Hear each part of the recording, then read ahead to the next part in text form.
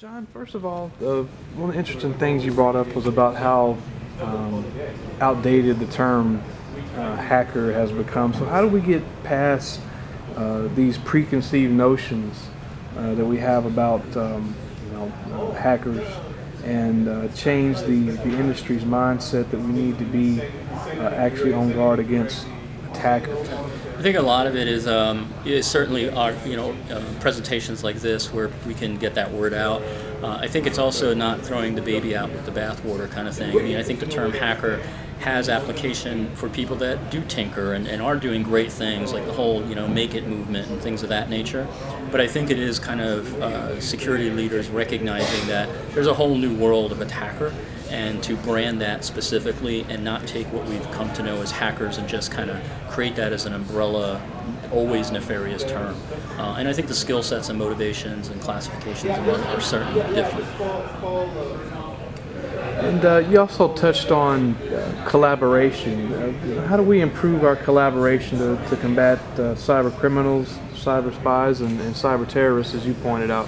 Yeah, I think the easiest way would be get rid of the lawyers, um, because that's usually the biggest challenge with collaboration that we see is, is individuals. I mean, we go to you know if you go to any conference, you'll see that the individual IT or, or ISO, uh, sorry, chief information security officers in them will collaborate.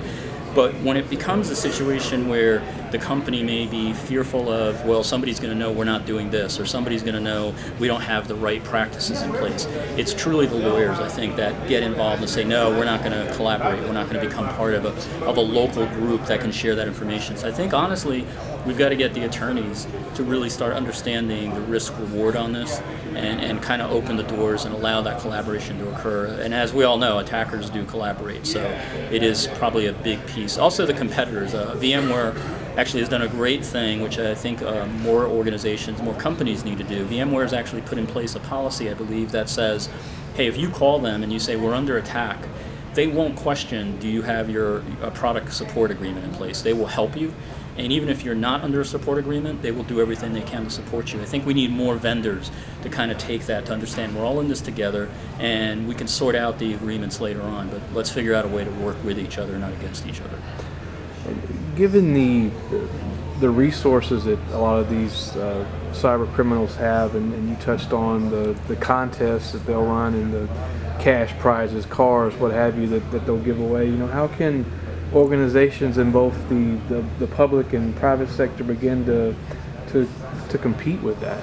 I think it is hard to compete with, but I do think, you know, especially here in the U.S. and even North America, we've got a, a and Europe, we've got a vastly different mindset. I think people ultimately want to do good, and they want to be on the side of right, not to be too cliche.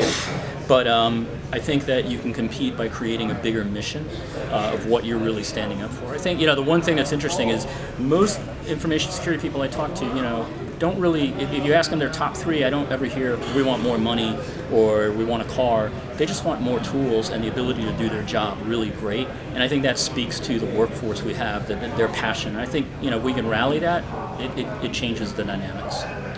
And in terms of the actual steps that uh, companies take to uh, you know, try to defend themselves, you know, how often would you say they need to be uh, evaluating their vulnerabilities and, and also uh, simulating attacks against their systems?